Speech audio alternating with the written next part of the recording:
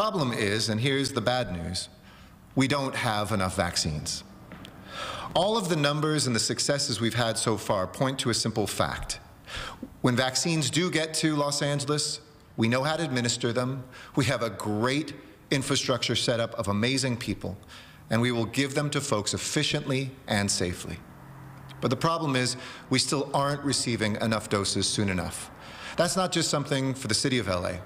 I know across this county, other cities, the county of Los Angeles itself, states in our nation, let alone nations around the world, simply don't have enough vaccine to meet the supply. We're vaccinating people faster than new vials are arriving here in Los Angeles.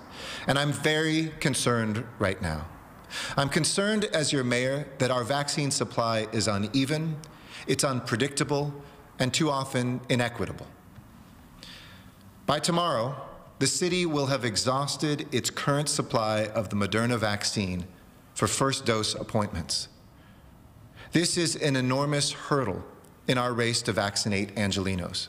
And unfortunately, it means that we will have to temporarily close Dodger Stadium and the other four non-mobile vaccination sites for two days on Friday and Saturday. This is not where I want to be. It's not where we deserve to be.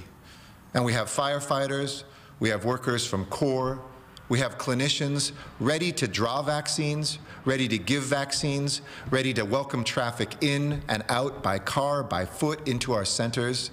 But we won't have those vaccines because the supply isn't there. As soon as we receive more supply, and I hope that we get, I'd love a call tonight or tomorrow from some source at the state or the national level saying we found some more. But most likely, hopefully Tuesday or Wednesday, we will reopen and start the business up again.